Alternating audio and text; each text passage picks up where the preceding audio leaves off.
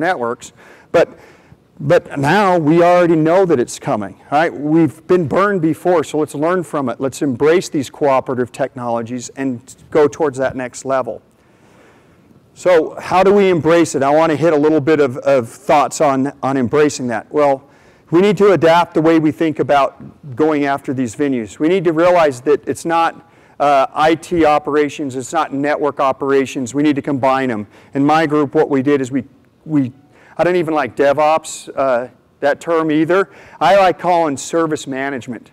So what I like thinking about is what are the services that I'm providing in a venue as a managed service provider?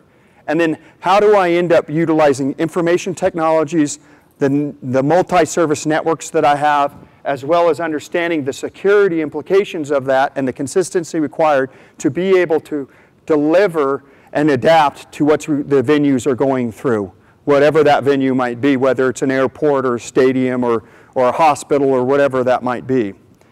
And one of the key aspects we're bringing in to make that happen is network function virtualization. And I won't use some of those terms. But network function virtualization allows us to decouple some of the technology. One of the first things you need to do is you need to look at the complexity of that network and you need to apply a software process to it. So you've got to sit there and break up the complexity, modularize, and once you modularize and you shrink down it into its simplest form, then you can repeat it. Then you can automate it. And that's one of the key things uh, I think of, of being able to truly create good uh, virtualization is you've got to make that first step. If you just take your existing systems and just throw them right over the fence into, into uh, and virtualize them, you're not taking advantage of what virtualization gives you. Virtualization is, gives you the ability to auto scale.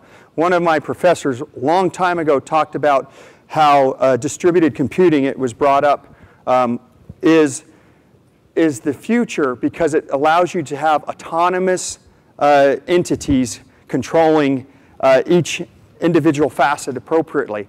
So he used to talk about how distributed computing, and I mean, this was back in 1995 or 6 or somewhere around there, maybe 93.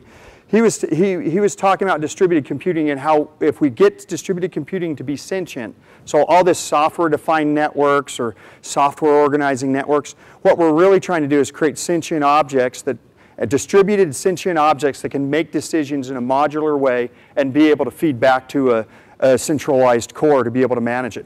That's what network function virtualization in my mind gives us, and that's what, why we're way very far behind it and we're moving down that direction at Boingo. We've now launched a virtualization engine at five airports and we're continuing to push that out to other locations. Again, built on this uh, idea of distributing uh, the, the load and being able to go from a, a in-venue data center to a, a private cloud to a public cloud and being able to see it all as one continuum instead of as separate entities that you have to deal with. And I, am getting a little nerdy because I noticed that we have a lot of nerds in here, so, so hopefully that's okay. All right, so innovative designs. We talked about a year and a half ago about uh, SMART. We, not, we talked about how Boingo is pushing this new thing called SMART. What we, what we also look at is we try to build uh, our, our systems or our networks in this smart design. What we want is we want to make sure security is uh, at the beginning. So smart, the S in secure, uh, smart stands for security. We, we need to recognize that there are different platforms out there. The different platforms require different bit rates, require different technologies, and so we need to adjust. An M2M device doesn't require the same thing as a smartphone, doesn't require the same thing as a tablet, doesn't require the same thing as a laptop. So you have to sit there and realize that you're dealing in a multi-platform environment, and so you need to adjust appropriately for that.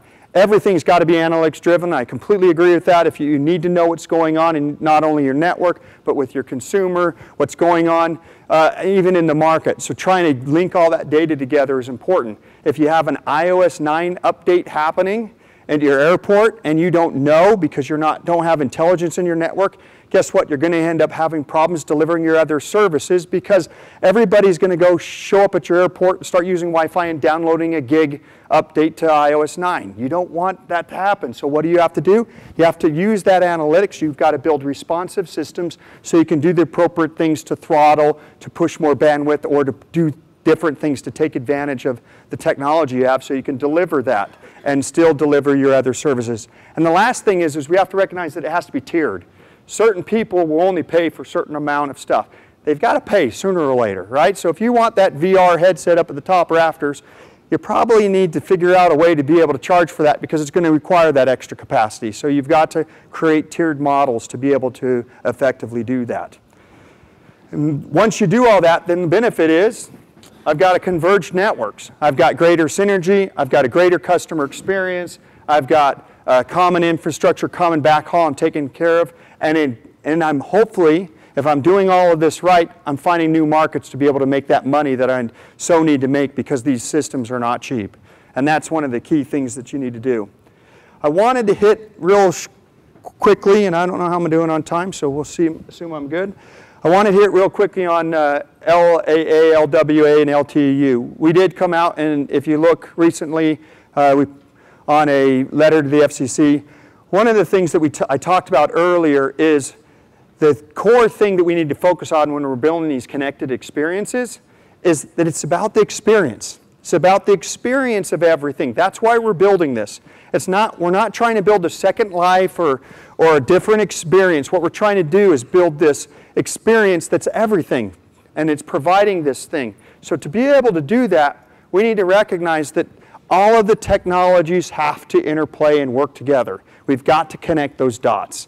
And so this common management principle where standards are crucial and we all adhere, adhere to them and work together to make them better is what we need to do. We need to recognize, for example, that LTE-U didn't go through the standards. It needs to go through the standards.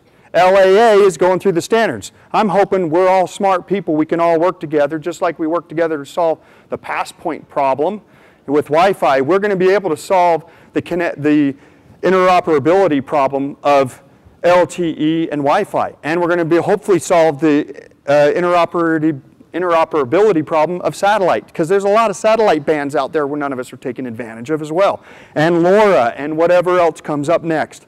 So standards are crucial to being able to be able move across these different uh, platforms. And we need to make sure that we're engaged and involved in these different standards uh, that are being pushed out by 3GPP or the WBA or the Wi-Fi Alliance or whoever it might be, all of them, PCIA, CTIA, all of those, we need to be involved and engaged in those to make sure that we're pushing those forward. Um, the Innovation Council here at the PCIA I think is a great uh, opportunity to get involved in that as well.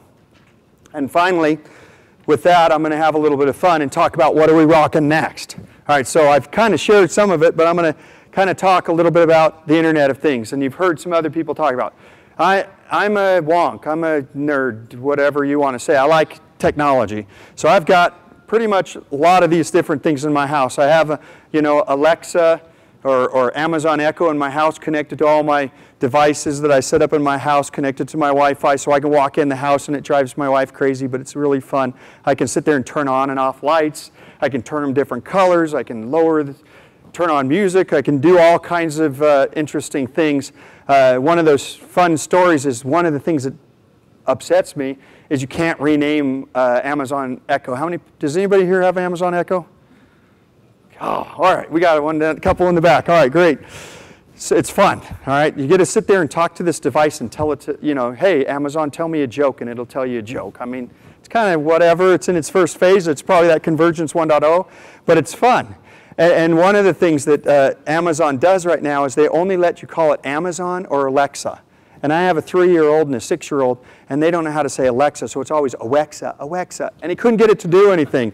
So, so it's struggling, right? This is, these are the problems with, the, with connecting the dots. You start off in 1.0, and I've got a six-year-old who sits there and just keeps saying Alexa all day long and gives me a headache, and it doesn't work, right? And that's what we've got to solve, is we got to realize that the Internet of Things is going to present these problems to us, but we're going to end up being able to solve them together if we, if we take on those challenges and work to solve those.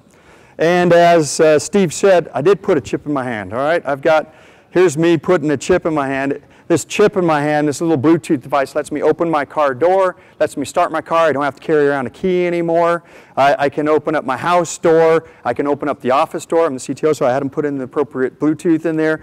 But, but I don't have to carry a key anymore. And when I go to conferences, our badges aren't like that here, but I can go into conferences, I can use my uh, Android phone. I got everyone, but I'll just sit there and say Android because uh, Apple you know, blocks uh, Bluetooth.